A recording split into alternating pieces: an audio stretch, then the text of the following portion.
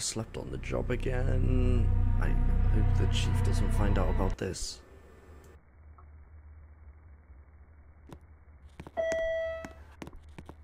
You don't get stuff you've been taken. I warned you about three times now, but this is your last straw. It's time you pay a little price.